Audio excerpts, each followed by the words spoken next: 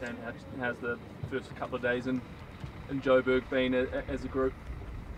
Yeah, it's been good. It's um, you know a nice small trip for a, for a Sunday compared to, to, to usual. Um, we're able to get a lot of recovery work in that first 24 hours or so, and then uh, yesterday some you know a good look at um, sort of opportunities missed and, and, areas to get better at. Uh, then we've come out here today, and I thought we had a, a pretty sharp training run. We're starting to put a lot of those things in and making improvements really. So it's been a good few days. Has there had to be a few honest conversations, maybe, uh, particularly among the, the, leadership group after the first test? Yep. Um, but I think that, that feels like that's always the case in this team. Um, you know, you can be brutally honest um, with each other, and it's never it's never personal. It's just about trying to get better, um, and sometimes it takes. You know, we're learning off an individual's error, um, so that the team can get better as a whole. How important is, is or extra significance does the captaincy and the, and the leadership as, as a whole, I suppose, take on in a week like this?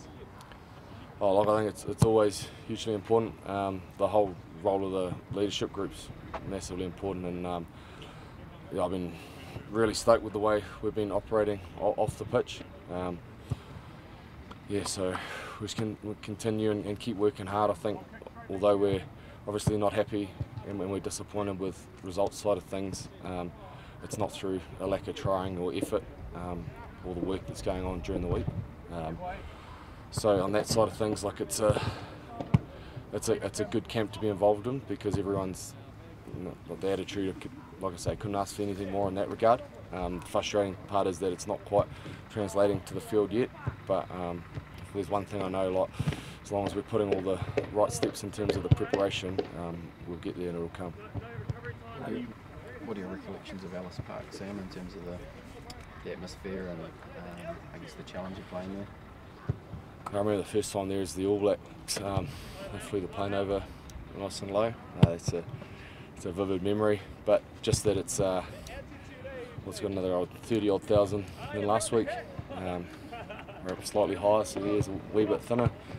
Uh, remember driving in and um, yeah, the fans are slapping on the bus and making plenty of noise, so it's um, it's a hostile environment, but um, I think we, we, quite like playing in places like this that really really test you. Um, yeah, I think I've said it before, I might have said in the weekend, it sort of feels like it's you know, the 15 out there versus uh, the 15 Springboks plus the, the whole crowd. So it's uh, they were massive challenges.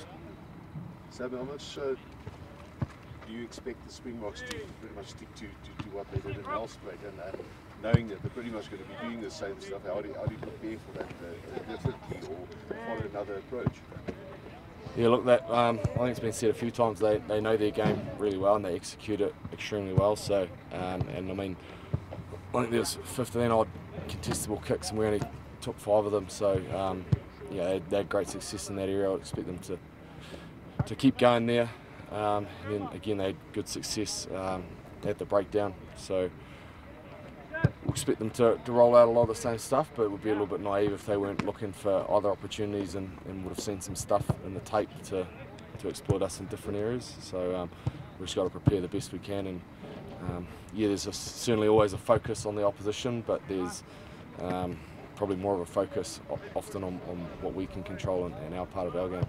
Sam, you lost the kind of the intensity and the pressure battle against them Nelspruit they seem to just have that little bit of extra on you and we're able to, to squeeze a bit. I mean, how do you how important is it that you turn that around and maybe maybe flip the flip it there?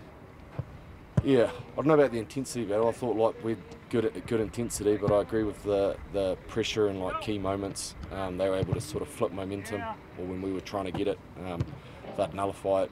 Um, some of those were controllable, like from our point of view. I think we had um, five penalties in a row in the first half, and as a result, we hardly had a crack at them.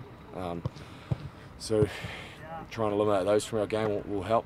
Um, but absolutely, like that's the that's the game of Test match rugby, creating pressure, intensity, and, and momentum. So, um, you know, it's all, all very well having one good moment. It's about following it up with another good moment and another good moment.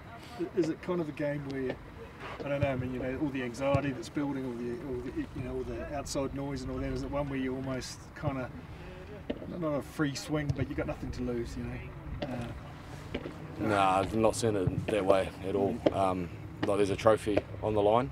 Um, we're playing at Ellis Park, and we're, we're desperate to want to improve and put out better performances than we are. So there's um, as much on the line as there's ever been. Sam, how difficult is it um, for you personally? Obviously, there's, there's a lot of pressure, there's a lot on the line on Saturday, and, and not just for you, but for other people as well. How difficult is it not to start thinking too much about the outcome and, and just stay focused on the process? Yeah, good question. Um, when, we're- when we're in camp like this, the, the weeks are so structured and everything is is focused around looking at ways to get better and improve. And when you constantly got that mindset to to look and, and find areas to get better at, um, you sort of don't allow yourself, or if you do find yourself starting creeping or thinking about things like that, you, just, you, you know you check yourself and pull yourself back to focus on what's important and what you can control. Um, just put all the energy and, and focus into that because um, I think we all, we all know within the team and within professional sport, if you start focusing on the outcome, um, it's always the, the process and the little steps um, that go into that that, it, that get the outcome you're after. So no point doing it the other way around.